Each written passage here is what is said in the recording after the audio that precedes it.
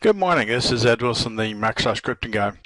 And today I want to talk a little bit about using Windows PowerShell to handle um, non-terminating errors.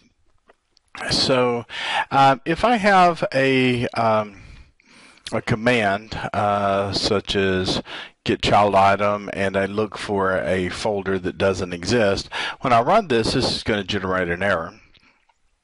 Um, the thing is that um, this particular error is not a terminating error, and I could have this command in a script and it would go to the next line and everything would be groovy. So the problem comes is uh, when I want to use structured error handler, try catch finally, and I want to try this command and I suspect that this folder might not be there, so I decide that I want to do some uh, structured error handling. I'd like to handle this error yeah, and um, do something, you know, maybe create the folder, uh, maybe just simply um, stop a copy process or something. Um, there could be all kinds of things that I may want to do and all kinds of reasons why it might be really important that a folder actually exists when I think it exists.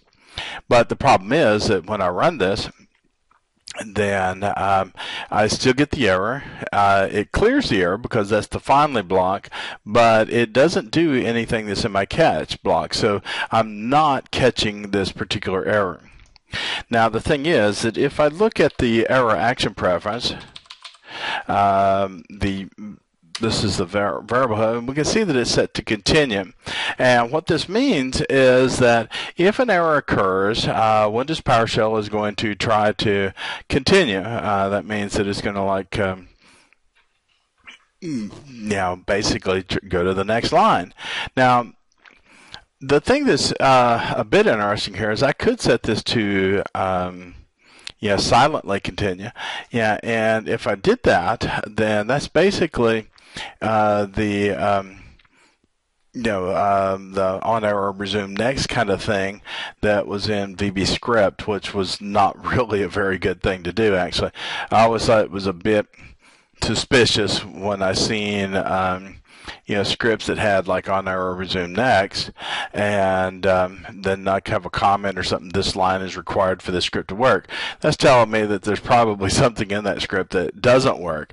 So you know we never ever you know see ignore you know set for an error action preference uh, in Windows PowerShell. Most people just leave it at continue, which means the errors are going to show up if they're there. But essentially, you know, on error, we're resuming next. We go into the next line uh, when the error occurs. It's just that we're letting you know that the error occurred.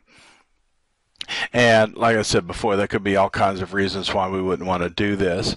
Uh, for instance, I seen a, uh, script one time that was uh, written by an administrator, and he basically copied a whole bunch of folders. Um, you know, from a um, from one computer, uh, he wanted to connect to a share and to paste those folders to that share, and then he was going to go back to the original folder and delete all of the files. Well, the thing was that uh, he copied all of the files uh, he tried to connect to the remote server, but that server was down. Well, then the next line of the code was to go back and delete everything from that original folder. So, you know, boom, you know, he just deleted all of his stuff, but he never got a copy of it. So, you know, this is one of the reasons, for instance, you know, why we really want want to do try catch finally. But the problem is that catch doesn't catch this error. So what I need to do is to change uh, the value of error action preference. Now I can do this globally by um, you know, setting this in the script up here, or in Windows PowerShell, we can actually change it um, uh, in the script itself, we're on the individual cmdlet, and notice that we have a number of uh, options. We can continue, which is the default, ignore it, uh, we can inquire, and inquire means like, hey, dude, what do you want to do? You know, um, know, uh, silently continue, which I'd already mentioned, which means basically, you know, don't tell me, but go on and try to continue to the next line. Um, but we can also tell it to stop, and um, a lot of people uh, suspend is really good because then that's essentially letting me do some other things and then resume after I've made my changes. Uh, it's kind of like entering the debugger, but not quite. Uh, so that could actually be really useful. But a lot of people used to ask me, well, why do I want to stop if an error occurs? Don't I want it to go to the next line? And if I change it to stop, then what I'm essentially doing is now I'm making this a terminating error. You know, so now the error will stop. You know, PowerShell can't go any further. And when that happens, then we're going to catch the exception and then we're going to go in and enter our finally block.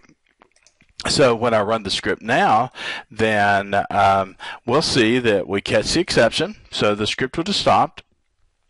Um, and uh, then um, we, we catch it, and then we go into our finally block here. Now, if I was to have this command here uh, without uh, the structured error handling there, you know, then we run it, and it doesn't look like it makes any difference at all. I mean, we're still going to our next line in our code. Um, which, or we're returning to the PowerShell prompt, uh, we're still getting an error displayed. It doesn't look like it did anything whatsoever. And so people see this, and that's another reason why they go, well, dude, that doesn't do anything. You know, the magic comes uh, when I put it inside the structure error handling block, try catch finally. So uh, this is one way I can do this, and I'm not messing up my environment. Uh, the other way, of course, is to actually you know, read the original value for the error action preference. Um, and then in my finally block uh, to to change that back to the original value. So that might look something like this: uh, dollar old uh, equals a dollar error action preference, and then uh, what I want to do is to uh, set dollar error action preference as equal to stop, and uh, then over here, then in my finally block, what I would do then is I could go back to a dollar error action preference uh, equals dollar old and uh, do it that way. And and then in this case, I wouldn't be uh, doing it like this. And if I do it that way, you know, that's that's a lot more work. You know, it's still going to be essentially the same thing, um, but um, yeah, let's see here. Uh, stop. Uh, stop.